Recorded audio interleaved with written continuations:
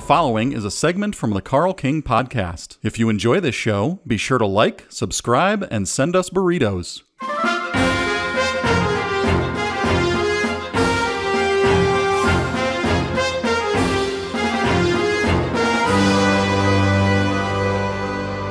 What you're about to hear is an abridged excerpt from my book, Robots and Aliens, which you can only get on Patreon at the $5 level and up. It's 125 pages or so, and this segment was edited together from portions of a few different chapters. So here we go. In June 1997, I released Sir Millard Mulch Seven Pot Boiling Delusions. The cover of that cassette featured an awkward black and white photo of me in my friend Brad Freeze's bedroom wearing a light gray shirt that was way too big and some sunglasses, not the famous green ones though. I also superimposed a dollar sign on my shirt.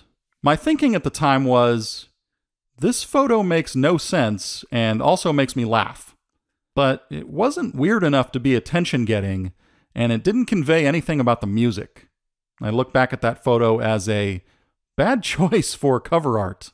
About the title A pot boiler is a work of art made solely for commercial purposes.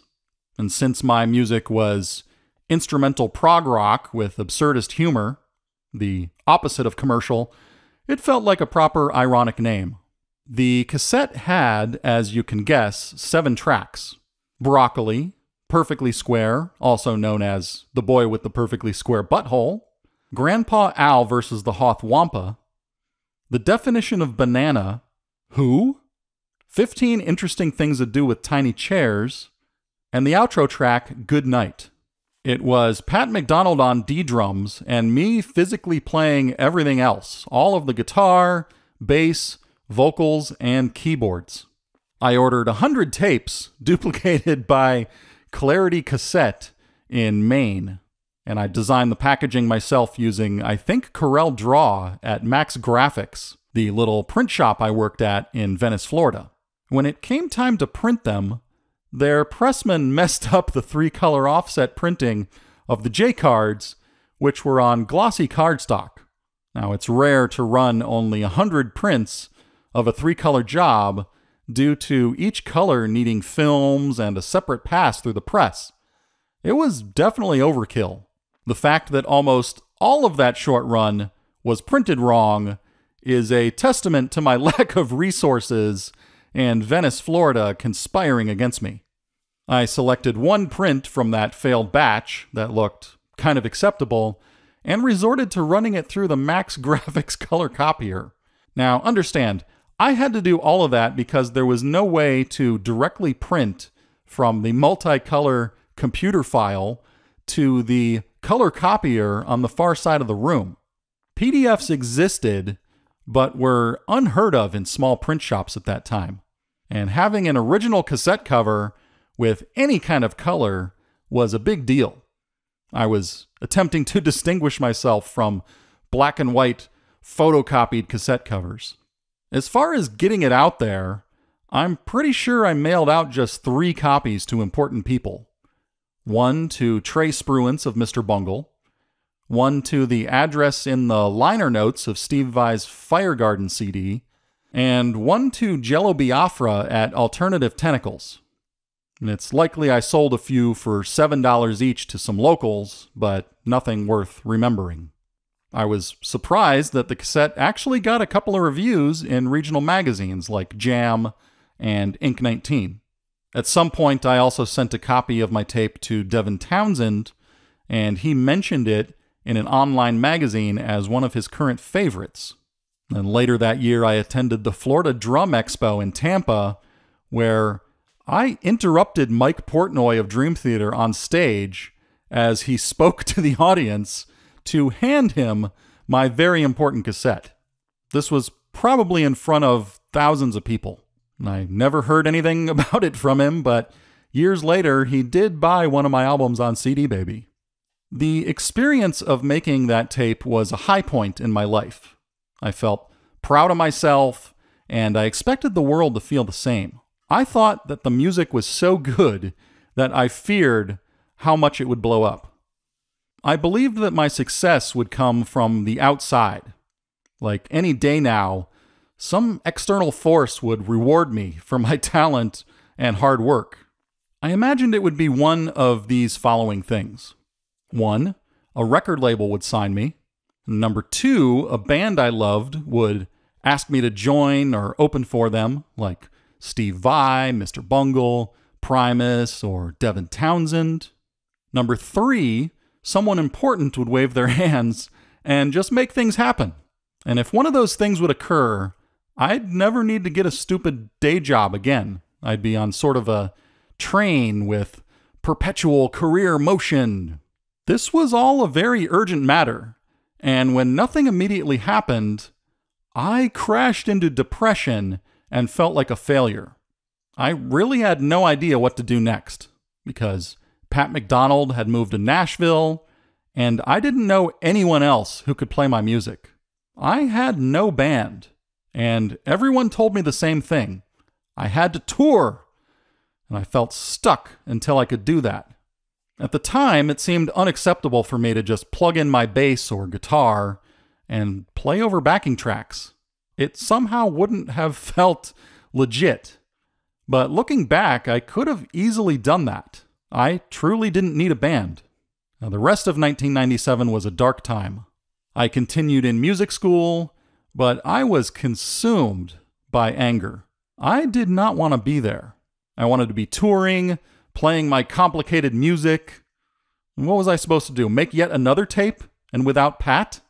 For the fall semester at school, I switched over to percussion as my principal instrument. I joined the wind ensemble, which played a lot of patriotic Sousa marches. And in one of the pieces, I had my very own extended snare drum solo that went on forever. My financial condition, broke, would have been completely normal for a full time college student, which I was, but at the time it was a source of embarrassment for me. I felt enormous pressure to make something of myself. And I resented having such crappy jobs and being dependent on my mom. Because in that situation, I lacked the power to do what I wanted record my own albums, run a record label, put a Sir Millard Mulch band together, and tour the world. I mean, every day that I didn't make it was another day of feeling like a failure. And college was taking too long. I was freaking out. The truth is, I was too impatient. Back then, I didn't view those years as my early years. As far as I was concerned, there was no future. Whatever I was going to do, I had to do it now. When they were my age, Mr. Bungle had already made their first album on Warner Brothers, and Steve Vai was working for Frank Zappa. At the old age of 22, I felt that I was falling behind. My standards were impossibly high. I was comparing myself to the only examples I knew of, which were highly visible rock stars who achieved an unlikely, outrageous level of success. But I was committing a thinking error. Since I didn't know of anyone who didn't succeed making that kind of music, I must be the only one failing. And I know now that I was being unfair to myself. In September of 97, Flail drove me up to Atlanta to see Strapping Young Lad. And I was determined to meet Devin Townsend in person. We got to the venue early in the day, and I found Devin sitting outside in the tour van which was crudely painted with the SYL logo.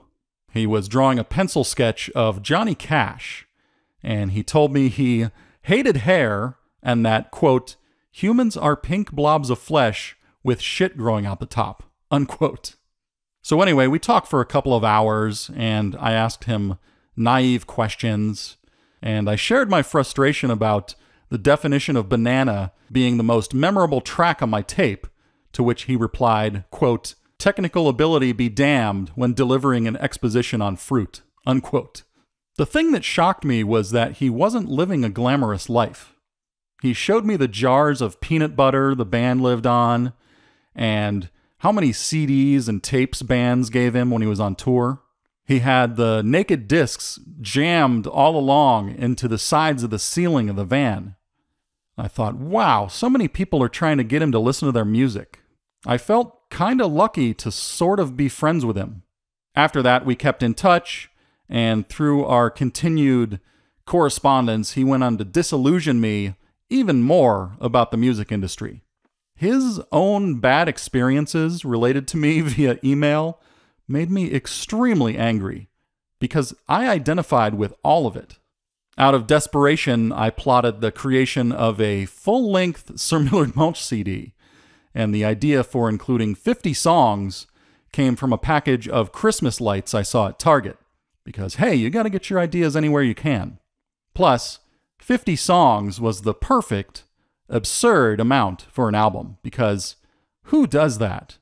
It would at least stand out from everyone else. It would be titled 50 Intellectually Stimulating Themes from a Cheap Amusement Park for Robots and Aliens, Volume 1. Well, there you go. To read the entire Robots and Aliens book, join my Patreon for $5 or more. If you enjoyed this segment from the Carl King podcast, remember you can also listen on Apple Podcasts, Spotify, or through an old rubber hose.